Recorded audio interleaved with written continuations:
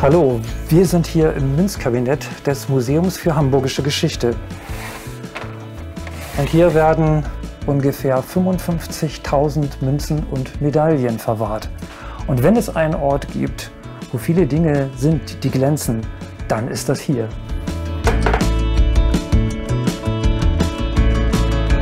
Im Wesentlichen ähm, sind es Münzen und Medaillen, aber auch viele Dinge darüber hinaus. Wir haben auch Geldscheine, Geldwagen, Münzstempel.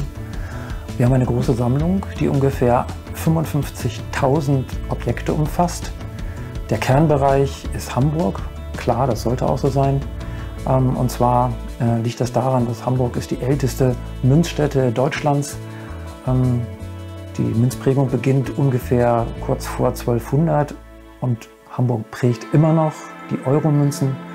Äh, jedes Stück, was ein kleines J hat, kann jeder mal in der Portemonnaie schauen, äh, das kommt aus Hamburg.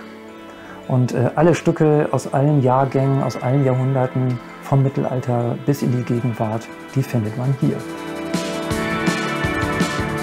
Für mich sind äh, Münzen besonders interessant, äh, weil Münzen sind ja äh, eine Miniaturgeschichtsquelle. Immerhin steht da was drauf, sie sind genau datiert. Insofern sind sie ganz bedeutend für Aussagen zur Wirtschafts- und Sozialgeschichte. Für uns als historisches Museum sind sie ein besonders schönes Ausstellungsobjekt, weil daran kann man viel erkennen und viel erzählen. Und äh, deswegen äh, spielen sie auch für die Ausstellung eine besonders äh, große Rolle.